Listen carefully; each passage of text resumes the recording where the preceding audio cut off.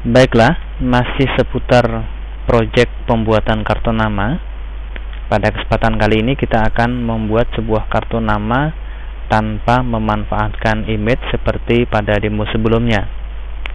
Perlu saya garis bawahi apabila Anda ingin memanfaatkan image, alangkah lebih baik apabila Anda telah Anda lakukan editing image yang akan Anda pakai dengan menggunakan program komputer grafis berbasis bitmap. Misalnya Anda bisa memanfaatkan Adobe Photoshop, Macromedia Fireworks ataupun Corel Photopine. Perhatikan pada tampilan pada layar, saya telah menyiapkan beberapa item yang akan menjadi komponen dari pembuatan kartu nama. Di situ telah terdapat logo layanan dari Fresh Body yaitu fitness center dan senam aerobik, alamat, nama si empu kartu nama, posisinya general manager, phone, fax, alamat alamat homepage dan juga email.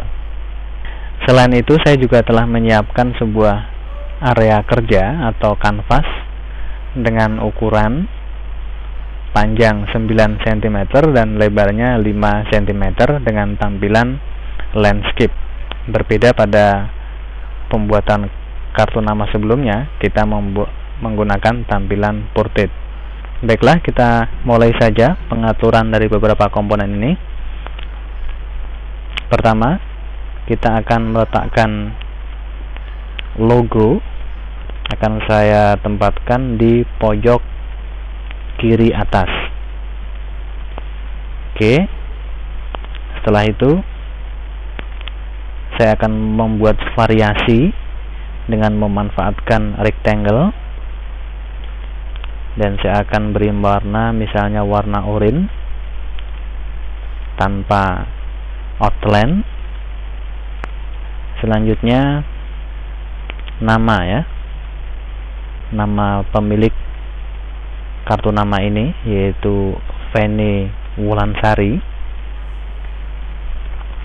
Selanjutnya saya akan beri outline. Maaf underline ya garis bawah pada teks nama. Selanjutnya saya akan meletakkan posisi dari Feni Wulansari ini di perusahaan Fresh Body yaitu sebagai general manager. Saya tempatkan di bawah saya beri warna grayscale dengan ketebalan 30% ya warna hitam 30% dan pada bagian general saya akan ubah warnanya menjadi oranye oke. Selanjutnya kita akan menempatkan jenis layanan dari Fresh Body ini yaitu fitness center dan senam aerobik. Akan saya ubah fontnya menjadi impact. Saya letakkan di bawah logo. Oke saya edit. Saya akan beri warna grayscale 30% dan pada dan di situ akan saya beri warna oranye. Di sini mungkin saya akan menggunakan sedikit warna ya. Dengan sedikit warna tentunya akan tampak padu jadi tidak begitu norak. Oke selanjutnya pada alamat. Di sini saya akan mencoba memutar 90 derajat. Oke dan akan saya tempatkan di sebelah samping kanan ya. Karena ini adalah posisinya di bawah. Akan saya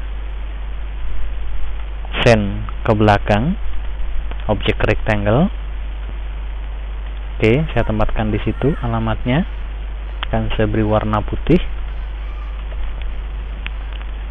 Selanjutnya nomor telepon dan juga efek akan saya letakkan di bawah posisi. Dalam hal ini adalah general manager. Akan saya perkecil ya. Oke. Akan saya ubah fontnya yaitu Arial Black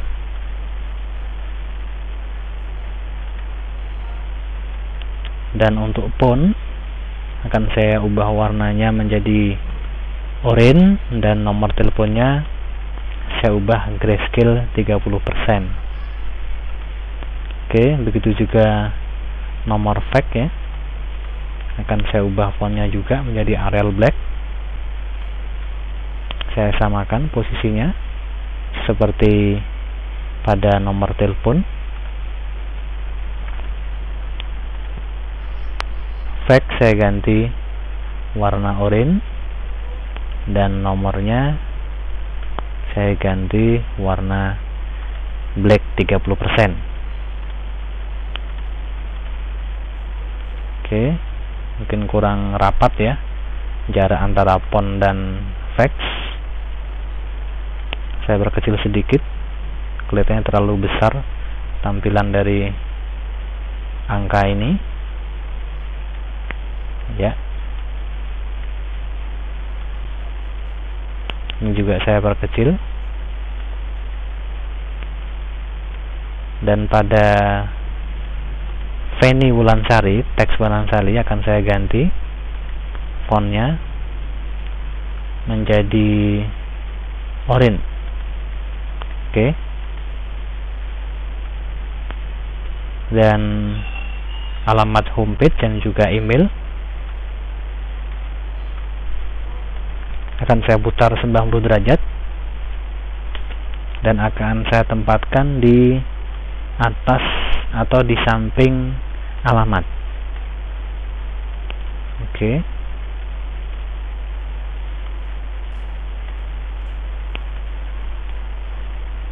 Oke. Akan saya beri warna putih.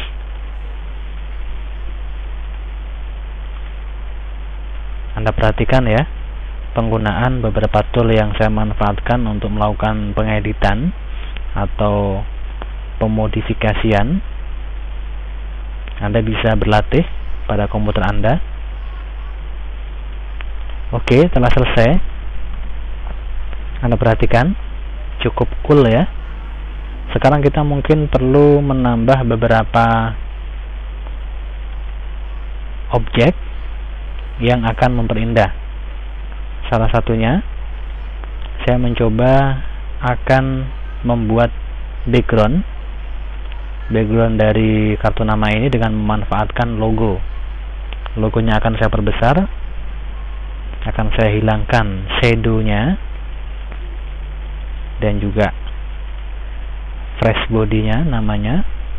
Di sini saya tidak akan menggunakan fill color akan saya hilangkan namun saya gunakan outline-nya. Oke. Okay. Dan menjadi background.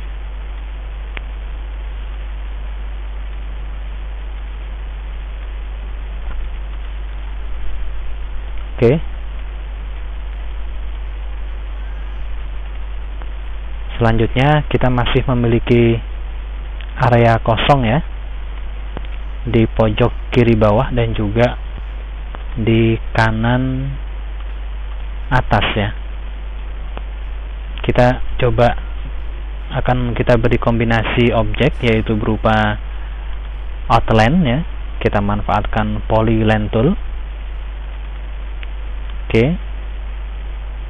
Kita beri warna orange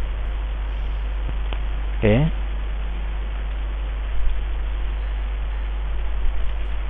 Oke kita beri warna orange oke mungkin kita tidak perlu membuat lagi. Kita saya undo dulu. Kita bisa melakukan pengkopian dari objek yang kita buat di situ. Kita copy lalu kita putar ya. Atau kita manfaatkan mirror. Oke. Ya juga kita perkecil